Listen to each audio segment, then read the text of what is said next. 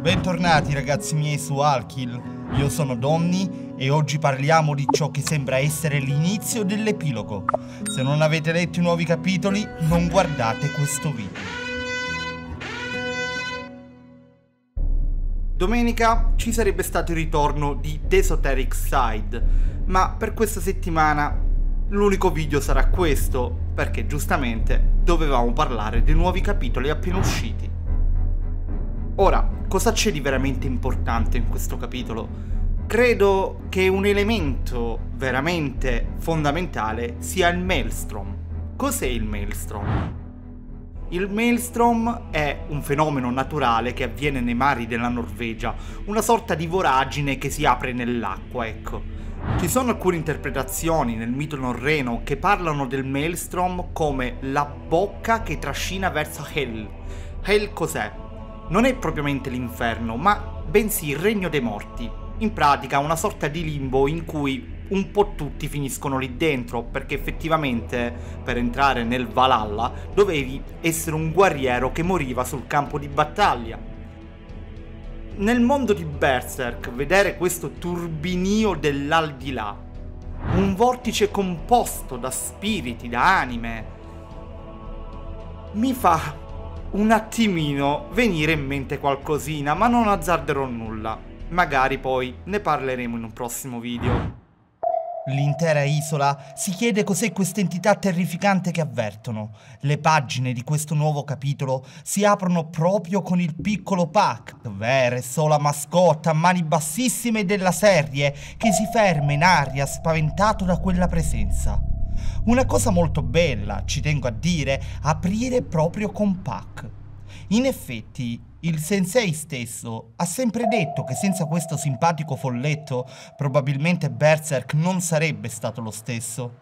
Aprire il sequel, proprio con la nostra piccola castagna con le ali, mi è sembrato un omaggio, velato, ma davvero commovente.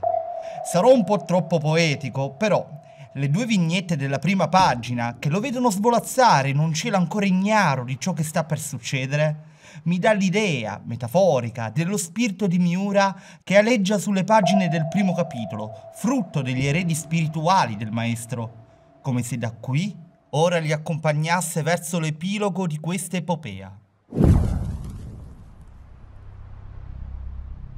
Le creature sono spaventate, ma noi sappiamo perché o almeno lo presumiamo. Eravamo rimasti fermi alla scena emblematica di Kashka e Guts che rimangono di sasso davanti al bambino della luna che lentamente assume l'aspetto del falco. Molti di noi hanno avvallato le ipotesi più disparate di ciò che in seguito sarebbe potuto succedere. C'è chi sosteneva che Griffiths sarebbe sparito all'improvviso, chi credeva o sperava in qualche tentennamento o esitazione da parte di Guts, ma in realtà la reazione è stata quella più intuibile, la furia incontrollata del guerriero nero che si scaglia con tutta la foga e la rabbia che ha in corpo. Sicuramente una cosa che tutti abbiamo preso è stata la reazione di Kashka il marchio sul petto torna a sgorgare sangue e ricordiamo che il dolore che quella ferita provoca è proporzionato all'entità che hanno di fronte, non un semplice spirito maligno, ma un araldo della mano di Dio in persona. Vi lascio intuire la sofferenza di quella poverina. Anche la sua collana va in frantumi e scene emblematiche di un passato fatto di ricordi frammentati riemerge nella sua mente. Per l'ennesima volta l'espressione di orrore. La stessa espressione che ricorda la lontana eclissi si imprime sul suo volto.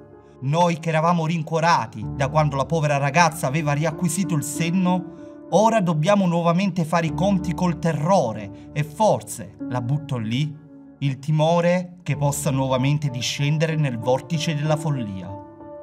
Lo spirito demoniaco si fa strada sulle spalle di Guts, il suo volto completamente oscuro, in un omaggio gonagaistico come solo Miura sapeva fare. L'ammazza draghi, quel pesante blocco di ferro che ha ammazzato così tanti demoni apostoli, si scaglia verso Griffith. Il volto di Griffith è angelico ma terrificante.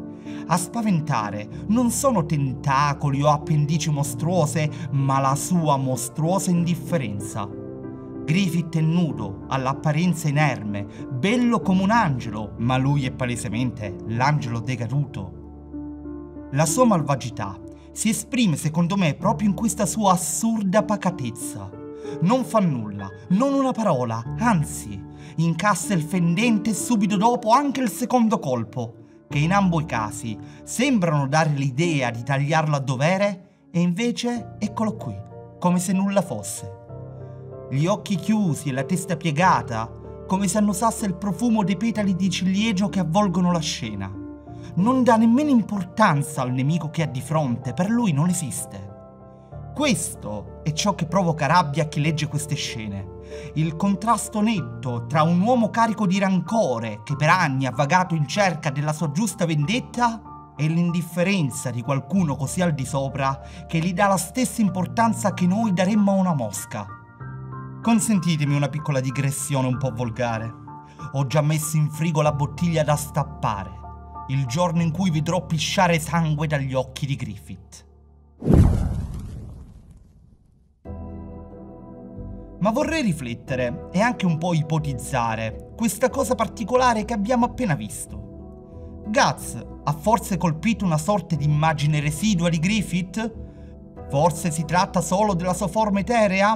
Non lo so a me dà più l'idea di una capacità di distorcere lo spazio e il tempo. Perché dico questo? Perché una cosa similare, dov'è che l'abbiamo già vista in Berserk? Mi spiego. Dov'è che questo potere, anche se in maniera molto differente, si manifesta? Quando nella lontana eclissi il cavaliere del teschio prova ad attaccare Void. Capiamoci, in quel caso il colpo non venne incassato, per questo detto in maniera molto differente. Lì fu smaterializzato e riapparve alle spalle del cavaliere. In quel caso si trattava palesemente di una distorsione spazio-temporale. Che sia una cosa simile anche in questo caso? Ora, abbiamo la piccola Cilke che si ritrova nel vortice non appena i suoi occhi incrociano quelli di Griffith. Essa viene quasi trascinata da quel vortice, salvo poi essere soccorsa dall'allieva farnese. Ha di fronte a sé una versione metafisica di Griffith. Se ci fate caso, alle fattezze spirituali simili a quelle del bambino della luna quando tempo fa liberò Guts. Ma occhio a definirla forma astrale, io non la chiamerei così almeno, perché sappiamo che sul piano astrale la forma di Griffith è Fent, a meno che, qui lo dico e qui lo nego, Fent non sia effettivamente una personificazione astrale del desiderio di realizzare il suo sogno ad ogni costo, che ha preso fattezze simil divine barra demoniache. Una cosa che potrebbe farvi storcere il naso, sì, però non è nuova in Berserk. Pensiamo all'idea del male, che una sottospecie di Dio incarnatosi da cosa? Proprio dai desideri umani. Ripeto, sono teorie, interpretazioni probabilmente sbagliate, non prendetele nemmeno in considerazione. Ma giunti a questo punto, tutto può essere, no? Veniamo adesso alla bomba che in fin dei conti non avrebbe dovuto stupirci più di tanto se ci pensiamo, ossia Zod.